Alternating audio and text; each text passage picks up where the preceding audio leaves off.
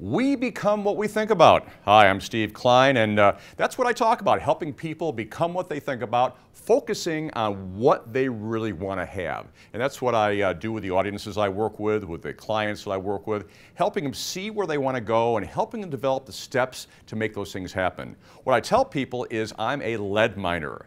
I help people get the lead out, help them find a way to do something different to, to get to where they want to go. If we keep doing it the same way, we're going to keep getting the same results. So we need to make those changes to get there. Now, the areas I work on with a lot of my clients are communication skills, uh, time management, a lot with sales, uh, leadership development, and in really helping people learn how to communicate with each other and set and achieve the objectives and the goals they'd like to achieve.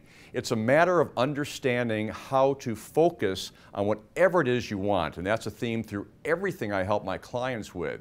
There's something called the law of attraction. Once you can focus on what you want, you begin to attract everything out there to help you make those things happen. So it's not a matter of, of having the skills, it's not a matter of having the knowledge, which are both, both very important.